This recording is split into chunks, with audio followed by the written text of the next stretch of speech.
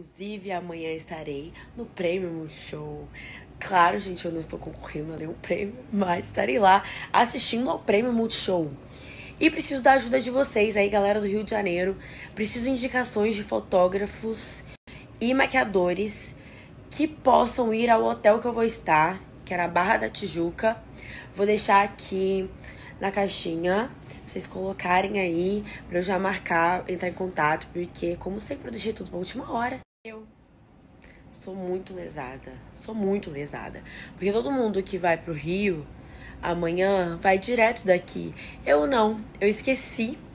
Comprei uma passagem para ir para São Paulo, fico quatro horas em São Paulo e vou pro Rio.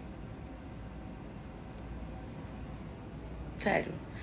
Às vezes eu penso que eu tenho que ser estudada, de verdade. Por favor, gente, me ajudem. Gente, não quero ir embora. Eu vim aqui só dar um oi pra ela no quarto dela.